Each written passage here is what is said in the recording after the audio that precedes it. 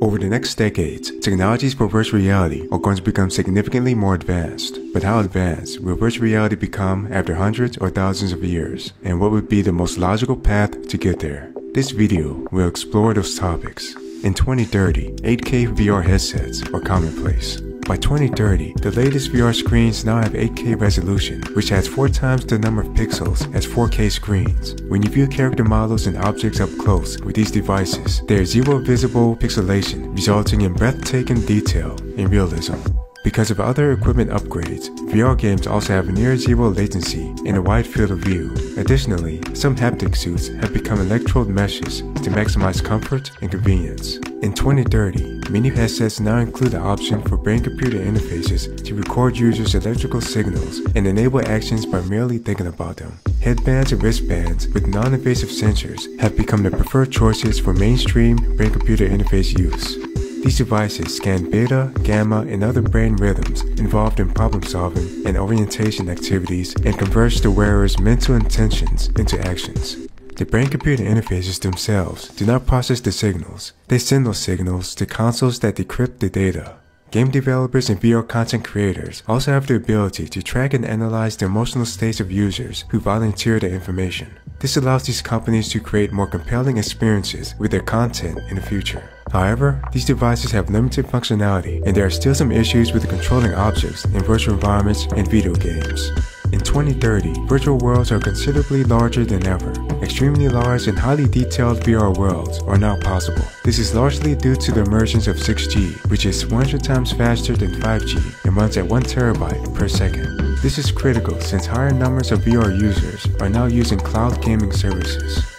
In 2050, 16K virtual reality headsets are mainstream. By 2050, most headsets now come with 16K resolution as a standard, which is 4 times the number of pixels as 8K displays from 2030 and more than 16 times the pixel count of 4K devices from the early 2020s. The 16K format offers a photorealism that is practically impossible for the human eye to distinguish from the real world. Meanwhile, a mid-range graphics card has more than 10 petaflops of processing power, which is 1000 times more powerful than high-end graphics cards in the early 2020s. In 2050, brain-computer interfaces have improved by orders of magnitude. All virtual reality headsets come with brain-computer interfaces of some type. The somewhat niche and experimental brain-computer interfaces in the 2030s are being replaced by much more sophisticated versions, making brain signal data less noisy. Brain-computer interfaces now offer a bi-directional exchange of information. These advanced neural interfaces send waves to the brain, transmitting visual, audio, and other sensations to the user. The images and experiences generated by these devices are almost indistinguishable from reality, and they're unique to each user because they depend on the structure of the brain. You can easily manipulate any object in the game using your brain signals. This feature is particularly important in the latest Star Wars game where you play as Jedi's and Siths with Force abilities, and in the latest Matrix game where you play as the One. Additionally, these devices allow people in VR games and experiences to communicate with each other using relatively simple thoughts. However, it would take more decades before this feature is refined. In 2050, virtual worlds are vastly more realistic.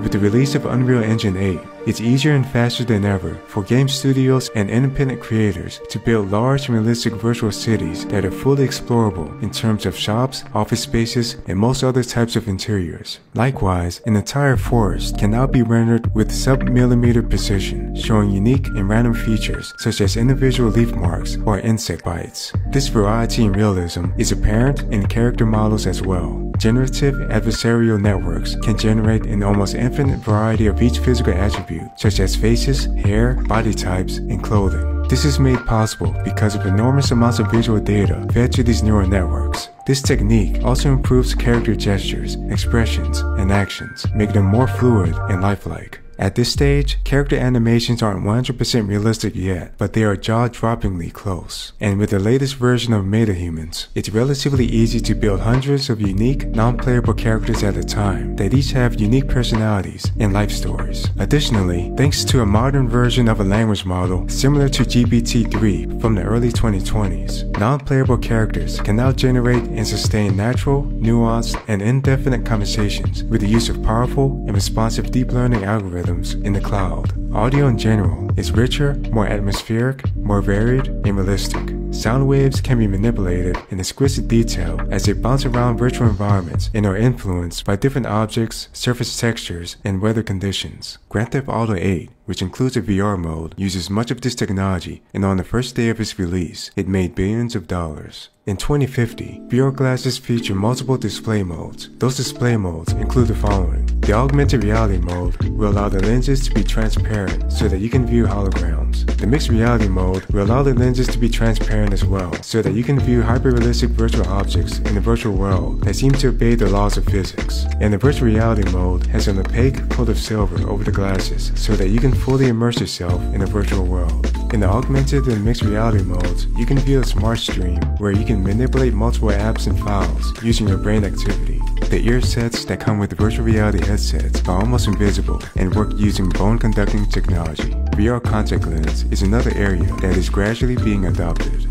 In 2050, realistic touch, smell, and taste are now possible in virtual reality. Haptic suits now work using exoskeletons to simulate touch, or they may stimulate nerve endings to cause muscle contractions. Because of this technology, you can feel sensations such as cold and heat on precise body regions with sub-millimeter precision. You can clearly differentiate between being punched or caressed in a virtual environment, and you can feel the sensation of a gentle breeze or the sensation of swimming through a virtual lake. In addition to haptic technology, smell and taste are digitized as well.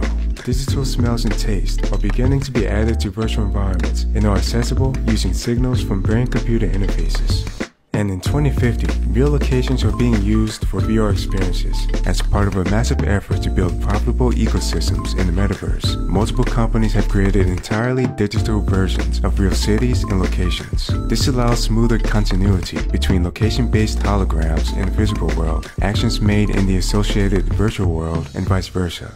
Advances in GPS, 3D scanning, and AI technologies made this possible well before 2050.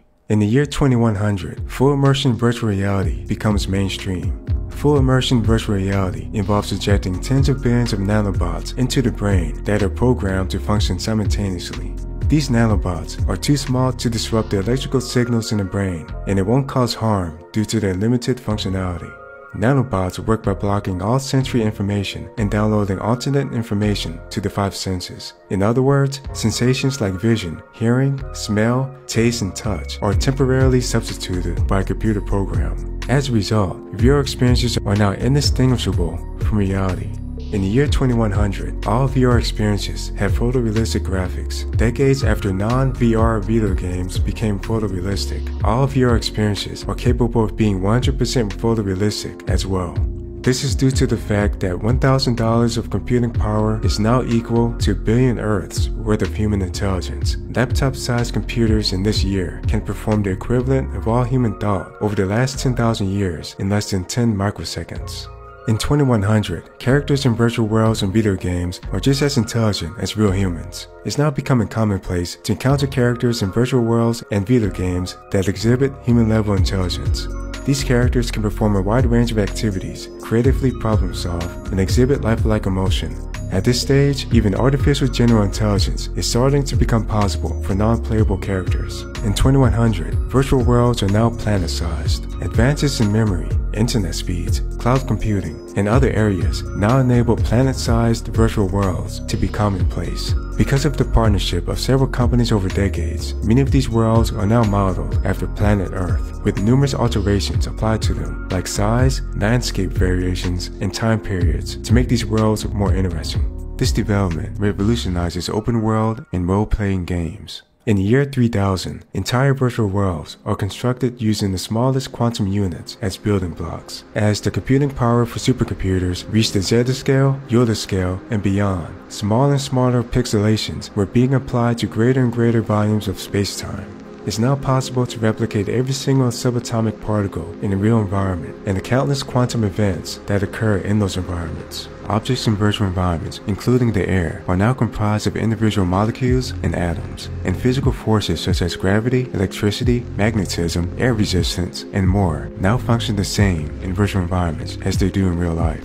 This offers a level of realism that was inconceivable with full immersion virtual reality by itself. In the year 3000, humans were able to transform virtual environments with their thoughts. Thanks to multiple scientific breakthroughs, it's now possible for people to instantaneously transform multiple dimensions of objects at almost the atomic level using only their thoughts. This development leads to an explosion of creativity and innovation that was inconceivable to people in earlier centuries. To people from the 21st century, the virtual worlds in this era would far surpass the most epic movie environments they ever watched and offer an unimaginable level of detail, ingenuity, and originality. And reality in these worlds is able to change in ways that can't be adequately explained with words from previous centuries. Research is even underway that will allow humans to become virtual environments by connecting their consciousness to those environments. This would allow people to instantaneously rearrange the atoms anywhere in a virtual environment with only their consciousness. In the year 3000, characters in virtual worlds are capable of superintelligence. Characters now have a wide range of intelligence levels. Not only is it normal for characters to have human level intelligence, but some of them have considerably higher intelligence than humans. Humans now require intelligence and memory boosting implants to comprehend these characters and the worlds they live in. In the year 3000, digital immortality is commonplace. For a few centuries now, the average person has had access to special clinics where they can upload their consciousness to computers so that their consciousness can live on long after their physical death. Many people choose to have their consciousness transferred to simulations before their physical bodies die, allowing their digital selves to live forever in those simulations. By now, many of these people have lived in these digital simulations for at least a few centuries. In the year 10,000, a simulated universe has been created. This simulated universe has similar laws of physics to our own universe. Some people are granted access to enter and leave this universe as they please, as long as they don't disturb the civilizations that live in it too much. It's become routine to run experiments on artificial Earths in this universe, slightly alter parameters such as gravity, mass, temperature, and so on, then fast forward billions of years to compare outcomes. Intelligent species evolving on those virtual worlds may be entirely unaware that they're part of a giant simulation. Thanks for watching. Make sure to watch the video series to the right about technologies in future time periods.